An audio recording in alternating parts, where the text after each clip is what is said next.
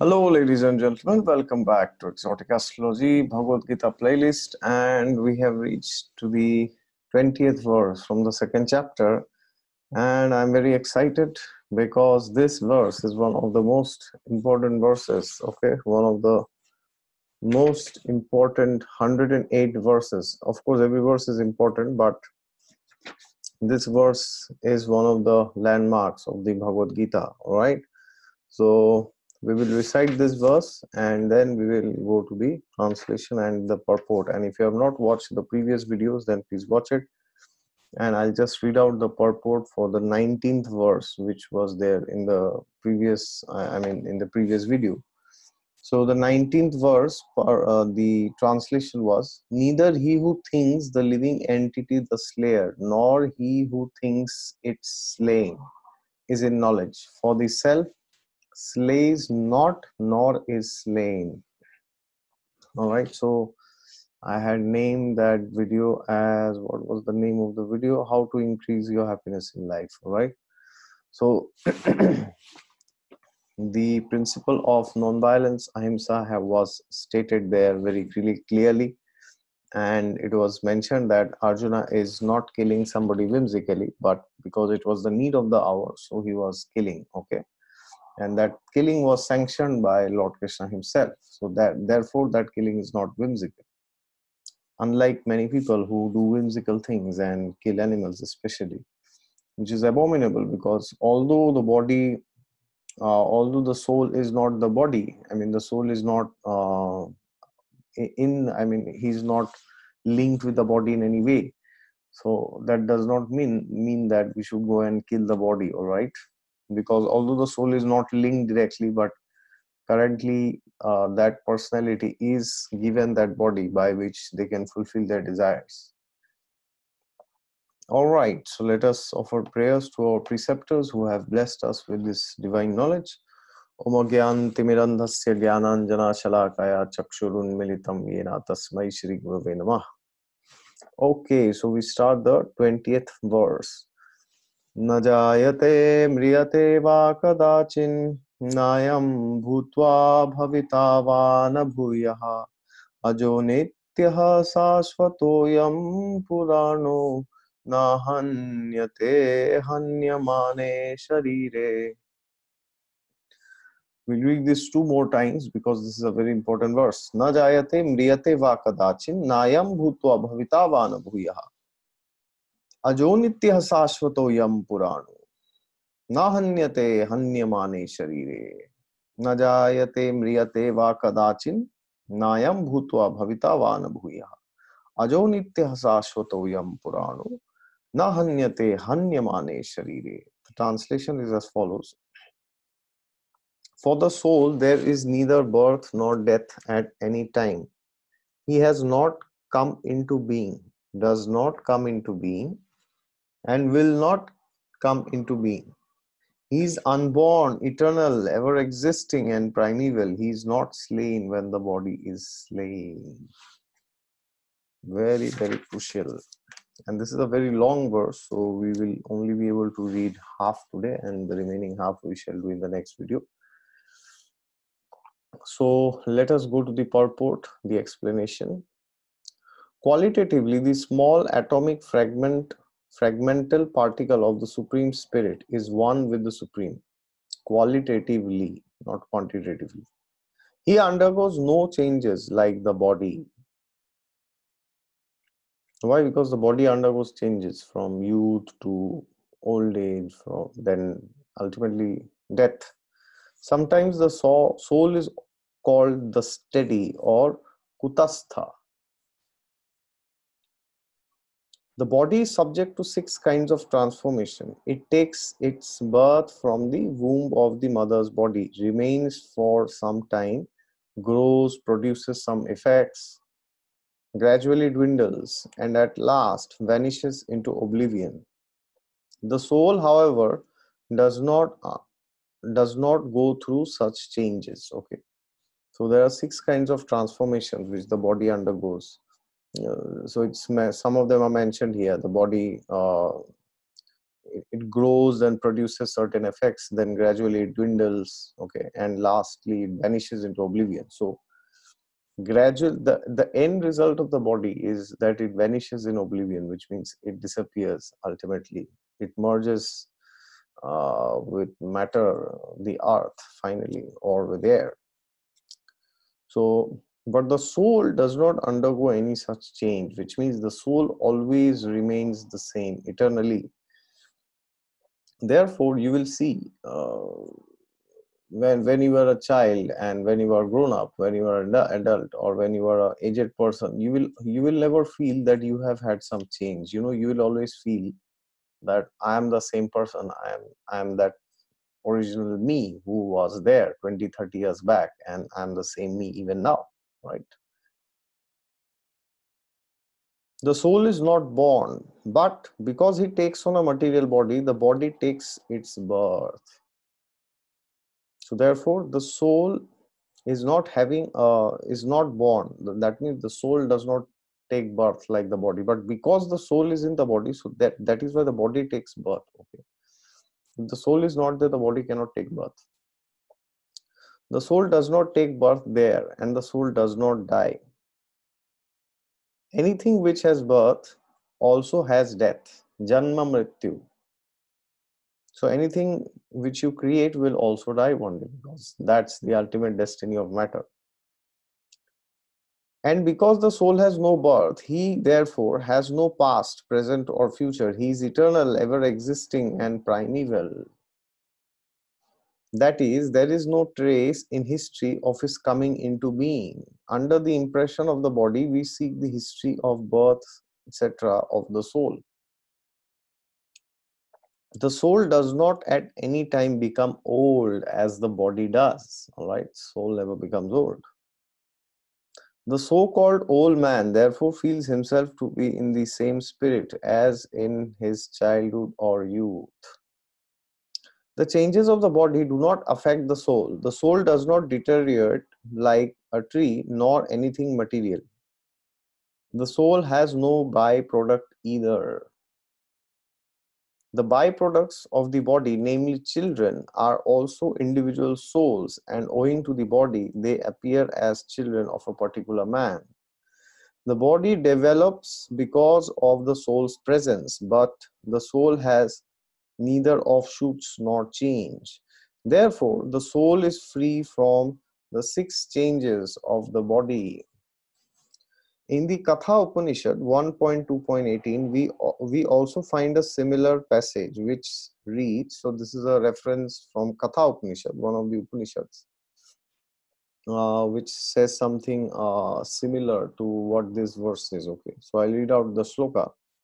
ना जायते म्रियते वा विपश्चिन नायम कुतश्चिन ना बभूव कश्चित।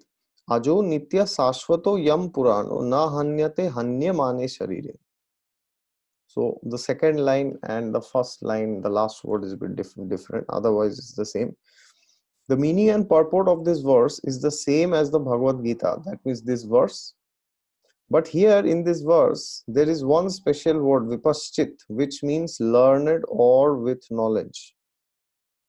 All right, the remaining part we will discuss in the next video. Uh, but the crux of this verse is that there are so many things which we lament for that we think that we have lost lost okay so sometimes people think if they lose money then they have lost it sometimes people think if they have lost some family member then they have lost them. But actually uh, as you see the last uh, word of that shloka from the katha upanishad says you know vipaschin. So basically the wise who are intelligent they will not lament for anything which they have lost. Because actually they have not lost anything. Yes it's easier said than done but that is how we gradually come to the platform of uh, self-realization. Because all the anxieties and uh, sorrows of this world is because we have certain unfulfilled expectations all right so therefore why do we have unfulfilled expectations? Or why do we have expectations at all? Because we think we are this body and we need something. Okay we need money to survive. We need a job. We need our business. We need a husband. We need a wife. We need children. We need parents. So therefore if we realize by doing spiritual practices that we are a spirit soul and we can never die and we don't need anything then we will understand that nothing is actually ours. Now, when I say we don't need anything, I don't mean to say, uh, I don't mean to cater to the uh, modern idea of independence. You know, I don't need this person, I don't need him, I don't need her. That is nonsense. But the thing is, we do not need anything material. The only thing that the soul needs is love of God, all right, which is available in abundance and in unlimited amount when we are uh, situated in our spiritual uh, transcendental situation okay? But before that we have to understand that there are these there are so many things which we feel as if we need okay? So therefore to the degree we are conditioned materially. To that degree we will feel that we need these things okay? And to the degree we are away from this we are elevated in our uh, spiritual life then to that degree we will also feel that oh my necessity my need for these things materialistic things have reduced okay? And now i don't need them the way i needed them once upon a time okay? So for example um, many times uh, when, when i visit spiritual communities i see people that uh, they eat very less. They eat once in a day sometimes or they eat uh, properly a lunch and then dinner they, they just take something officially. I mean it's not a dinner of course. So why how how in the universe that people the materialistic people materialistic society they are hell-bent on eating four four meals a day minimum three can be four or five also you know they will spend uh, thousands and thousands of euros dollars and rupees in food. So how is that uh, people in the spiritual communities they can just eat once or just twice and that to very simple food and then they can be happy? How? Is it that the body does not have requirements? No it's not like that. The body bodily requirements is the same but because the the person has elevated his consciousness to the level of the soul.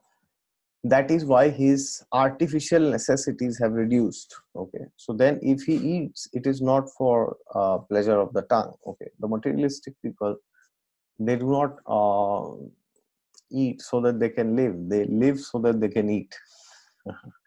All right most of them actually. So that is why uh, whenever I, I visit my hometown guwahati assam in india then i always see that i mean uh, once every six months or one year i visit.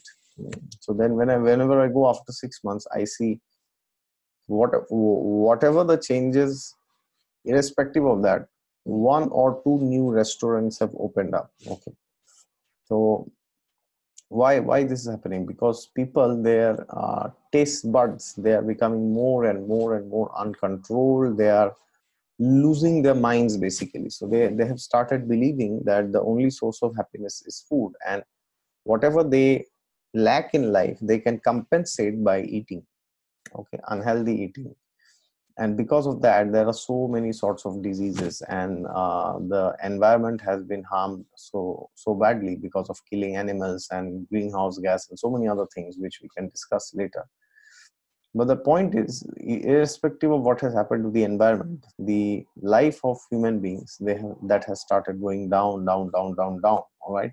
Their necessities are increasing increasing increasing because they are becoming more and more bodily conscious okay so this does not this was does not entertain uh, the idea that we leave everything and we go to the forest and we don't work we don't have a family. No it doesn't entertain that.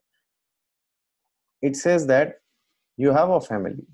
You go to your office you have a job or you have your business but dedicate more time to your spiritual practices okay? Especially in the morning during the brahma muhurat we should get up and chant mantras vishnu mantras that will really help us have a sattvic lifestyle read scriptures like the bhagavad gita and Srimad bhagavatam. Only when we do this then we will realize that gradually and of course the most important thing in spiritual life is to have a healthy association with the spiritual community all right? So when we have that then we will realize that we are gradually rising above the materialistic conditions of life okay and when that happens our greed will reduce our lust will reduce because uh, the scriptures say that if a person cannot control his tongue, then his belly and his genitals will not be under control. And when we, we know very well when the genitals go beyond control, you know, what happens? There is there is mayhem, there is ruckus in the society, right? And uh, society is in a serious predicament. By that sense, we see so many uh, crimes that are happening, okay, because of uh, uncontrolled sexuality right? Marriages are falling apart you know children their lives have been destroyed their parents have been indulging in extramarital affair like premarital sex. Then maybe uh, uh, more sometimes extramarital with more than one person also simultaneously okay? So if the children they have been born and brought up by seeing such atmospheres can you imagine uh, in their family what kind of a what kind of a disposition they will have? Okay how difficult it will become for them to be stable emotionally okay? So therefore we have to realize that if we want to have control over the six anarthas okay kama krodha lobha moha mada matsarya then we have to control the things that we eat because if you do not control that then our bodily organs will go beyond our uh, they, they, they won't listen to us. They will make us listen okay? Which means they will force us to do what they want all right? So sometimes i know uh, as per ayurveda said we should not eat after sunset. But uh, many of my friends in the materialistic society they they go to eat a buffet at night uh, 11 p.m okay? And then they eat around uh, 40 to 50 items there cooked with you know meat then very high sugar very high carbohydrates and no food value all right? And then later on because of that they do not get sleep in the night okay? And then they keep grazing over youtube and other such stuff. And then like that they ruin their health and there also are because the because uh, their genitals are not under control they also have to uh, keep watching pornography and even visit prostitutes sometimes all right?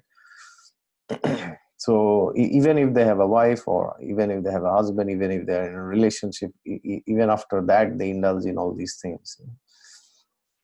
Because their uh, tongue is not under control okay so therefore, it is very essential that we gradually elevate our consciousness. And then by that, we will automatically be able to control the senses. Okay, so we cannot artificially control the senses by just saying, no, no, no, no, I won't do this, I won't do that. That doesn't work. But the way to do it is we elevate our consciousness. So when we elevate our consciousness, then uh, the byproduct is we uh, have a control over our body spiritually okay? And then we are able to control matter. And then we realize that we don't have to be helpless servants of the mind and the senses okay? We will let them we will make them do what we want okay? But if we do not do that then we will be forced to do what they want us to do right so therefore, let us take control of our lives. Let us do spiritual practices every day morning by which we can elevate our consciousness gradually and reduce the necessities of our life. Okay. Because many times people are concerned with how much they are earning, but the problem is not how much you earn. The problem is how much you save. All right. And most of the people I know they struggle with this savings. I have out of 10 people, I have seen nine who have good income or reasonable source of income. one or two may say, I don't have a job from last one year, two years, but that happens very rarely. But out of 10, nine of them who have a reasonable source of income or a good source of income or they are very rich, they always suffer with savings. Okay, they have zero savings sometimes. I talk to people and I see they have worked for last five years and how much is their savings they they hardly have any savings because all their money has been extinguished. In wine in uh, the opposite sex then in, uh, entertainment then in uh, gambling and then in wine then other sorts of intoxicants. And they're penniless totally all right? So there you go. Thank you very much for your patience. And if you're new to the channel then please subscribe to it down below. And if you want a consultation the website is in the description box all right god is there with you all the time. Just look to him and you will find him